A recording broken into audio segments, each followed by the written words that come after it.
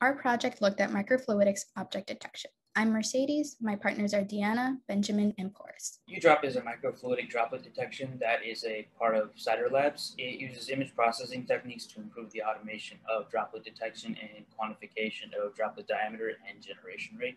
Our goal is to improve the functionality of UDrop to handle variations in the droplets. These variations can include transparency, oils, and background noise. So in terms of specification and what we'd like to see improved um, overall design by increasing the accuracy and precision of the original U-drop tool, specifically getting within 10% of the hand calculated values for the droplet diameter and drops per second, as well as minimizing the standard deviation of the droplet diameter calculation, which would also increase our precision. So now let's go over the features and functionality of our tool. Here we have the overall block diagram where the green boxes are the specific sections that we added or changed. Expanding into our portion of this diagram, we can get into the more specific architecture that we added. First, the video is sent to the filtering stage where the user can select one out of three different types of filters. After the video has made it past this stage, it is sent to the edge detection module. And after some initial analysis, the tool goes into the first edge detection threshold modification loop. And this loop is basically used to prevent the program from accidentally setting the threshold so high that no edges are detected within the droplet bounding box. Next, we have the optional extra fine tuning, where we systematically change our edge detection thresholds using the parameters from the first loop as a starting point. In each iteration of this loop, we perform three things. The edge detection analysis, wave smoothing, as well as diameter calculation. From the data collected in this loop, uh, we identify a couple of the best performing thresholds for the user to visualize in the GUI. Here we can get into some more detail about the filtering aspect. We insert a filtering module between the steps where the user provides the video and the pre-inputs. It should be noted that some filters work better than others for different videos, so we focus on three in total. To zero, which cuts from the bottom, so darker values are set to black. Binary, in which brighter values are all fixed the same color. And truncating, which cuts from the top, so brighter values get dark. There are some other threshold types as well, like inverse binary and inverse to zero, but these didn't really show any promise in preliminary testing. Here is a comparison between the various filtering options. With to zero, we see not much change from the filter from the unfiltered image. Edges have some more contrast, but there is still too much background noise. With the binary filter, we brighten up the channel and the edges get darker, and there's some more contrast between the background and the droplet outline. With the truncated filter, the background noise is mostly filtered out and the edges pop. The whole image is darker, but the relative pixel values make this image easier for UDrop to analyze. Now let's take a look at the code which implements all this. This is the function that performs the filter. In the red box, the video is open for streaming and configurations are set like the video uh, size, codec, frame rate, etc. In the blue box, frames are opened one by one from the start of the video to the end, and a filter is added to each frame individually. CV2 provides API functionality to pass in a certain filtering algorithm, define pixel value boundaries, and have all of that be applied. Afterwards, the frame is appended onto the end of the new output video. One of the design considerations we had to make was whether or not to let the user choose which filter they wanted to apply. On one hand, this would provide more functionality, but on the other, it makes the program slightly more complex and adds arguments that need to be passed in. However, because there are videos that do poorly with one type of filter, but better with another, all filters are kept and modularized to be selectable by the user at this, as part of the startup command. So this is our filtering demo. Um, we simply type in the type your following command. On three, the um, UDrop and we want the video choice. So in this case, we have a video on file, the mineral oil water. And then we want to implement our filter, so we just include the argument of filter and we run it and this will take a while to load. Each frame will be analyzed, so I will pause. Command and the filter is loaded. Um, we are prompted with the UDrop setup window. So here we will select frames per second and the blue line distance. This is given by the lab.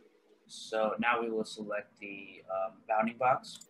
When drawing the bounding box, it's important to make sure that there's only one droplet inside the bounding box at all times.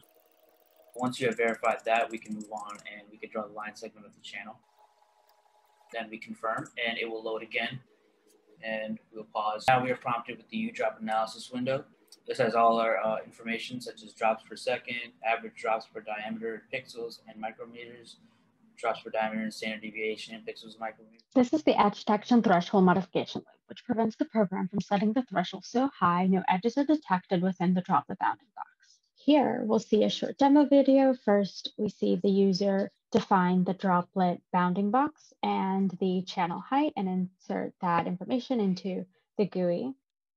And the program goes right into using the default canny weight and uses the modification loop only if the average pixel value is lower than the threshold we defined in the code, which only applies to certain videos or filters. At each iteration, the average pixel value is also calculated, and we'll skip ahead to see the results. So after a couple iterations, we see the canny weights are lowered each time and we get our final results and we see them for a couple of frames. As was shown with the truncate filter, we needed to lower the threshold significantly to reach a threshold that would yield actual edges. The same is true for the unfiltered video, but even with the threshold modification, the droplets are not detected because of the high background noise. And sometimes, for example, in this video, with the to-zero filter, the edges are very defined and the thresholds are not lowered at all. The next mo module we made further refined these thresholds by looping through small changes to both the lower and higher values. At the end, the best performing combinations are determined based on the standard deviation and output to the GUI. The fine tuning does take a while to complete due to all the calculations, but it might be preferable in certain cases. Here, we're comparing the first loop and the fine tune result. For the same droplet, the fine tune diameter is correct, unlike the diameter calculated after the first loop. To analyze how applying the filters influenced the performance of UDrop, the percentage differences was calculated compared to their respective measured value. For the calculating the diameter in clear fluid, both the unfiltered and filtered were within 10% of the measured diameter. However, the binary filter performed the best, being within 4.23% of the value. In colored fluid, only the truncating filter performed within the 10% specification, being within 2.33%. In mineral oil, the filters outperformed the unfiltered, with the truncating giving the least percentage difference. For the drops per second, both clear and colored fluid had large percentage differences, however, still performed better than the base compared to the measured value. In mineral oil, adding filters did not significantly influence the drops per second and are within 10% the 10% specification.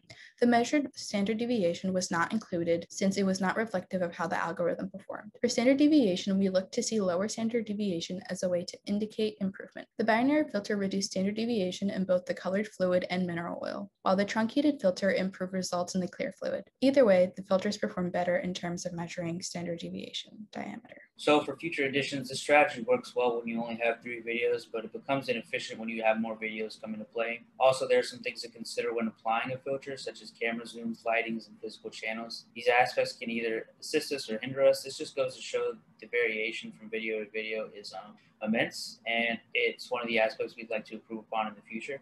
This would require a larger set of data, ideally data with predefined values, and it could possibly lay foundation to implement a neural network that can optimize the system and automate some aspects in future iterations of this project. We'd like to acknowledge and thank Professor Densmore, David, and Jackson for helping and giving advice throughout the project process.